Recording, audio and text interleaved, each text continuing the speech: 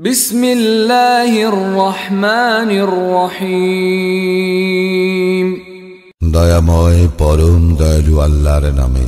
ওয়াল শপথ উষার। ওয়ালায়ালিন শপথ দশ রজনী। ওয়াশ-শাফঈ শপথ জোর ও বেজোড়ের। ওয়াল্লাইলি এবং শপথ রজনীর যখন উহা গত হইতে থাকে। নিশ্চয় ইহার মধ্যে শপথ রইয়াছে বোধ সম্পন্ন ব্যক্তির জন্য।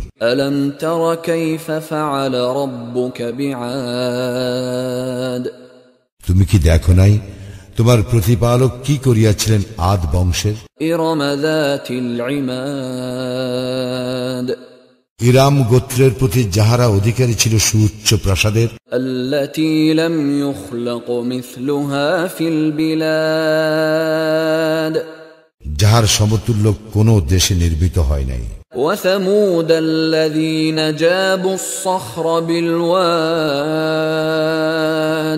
এবং সামুদের প্রতি যাহারা উপত্যকায় পাথর কাটিয়া গৃহ নির্মাণ করিয়াছিল।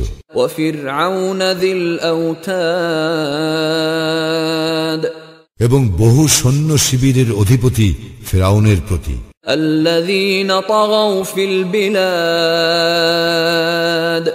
যাহারা দেশের সীমা লঙ্ঘন করিয়াছিল।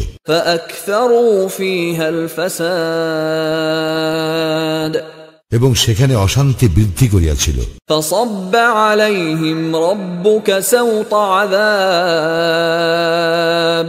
অতঃপর তোমার প্রতিপালক উহাদের উপর শাস্তির কষাঘাত আনিলেন।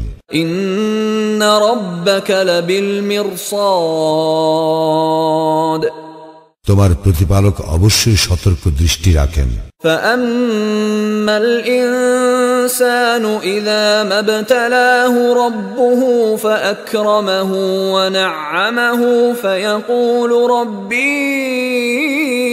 أكرمن মানুষ তো এইরূপ যে তাহার প্রতিপালক যখন তাহাকে পরীক্ষা করেন সম্মান ও অনুগ্রহ দান করিয়া তখন সে বলে আমার প্রতিপালক আমাকে সম্মানিত করিয়াছেন وأما إذا ما ابتلاه فقدر عليه رزقه فيقول ربي أهانن এবং যখন তাহাকে পরীক্ষা করেন তাহার রিজিক সংকুচিত করিয়া তখন সে বলে আমার প্রতিপালক আমাকে হীন করিয়াছেন كلا بل لا تكرمون اليتيم না কখনো নয় বরং তোমরা ইয়াতিমকে সম্মান করো না ولا تحاضون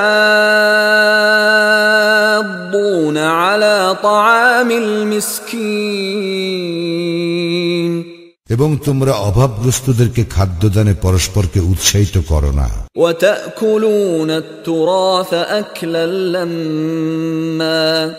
এবং তোমরা উত্তরাধিকারীদের প্রাপ্য সম্পদ সম্পূর্ণরূপে ভক্ষণ করিয়া ফেলো।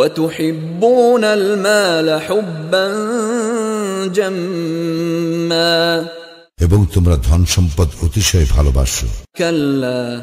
كلا إذا دكت الأرض دكا دكا ইহা সঙ্গত নয় পৃথিবীকে যখন চূর্ণ বিচূর্ণ করা হইবে وجاء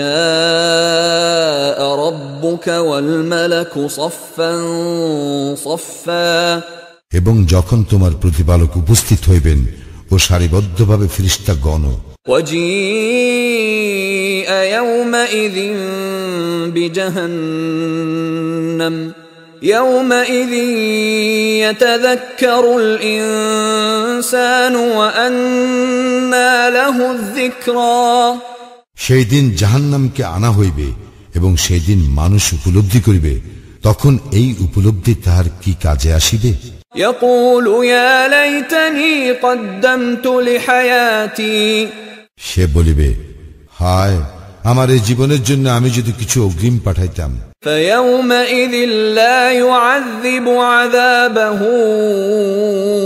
احد সেই দিন তাহার শাস্তির মতো শাস্তি কেহ দিতে পারিবে না ولا يوثق وثاقه احد এবং তাহার বন্ধনের মতো বন্ধন কেহ করিতে পারিবে না يا أيتها النفس المطمئنة হে প্রশান্ত চিত্ত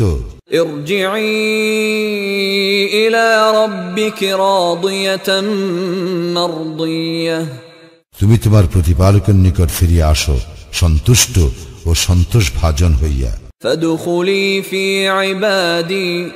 আমার বান্দাদের অন্তর্ভুক্ত হও। আর আমার জান্নাতে প্রবেশ করো।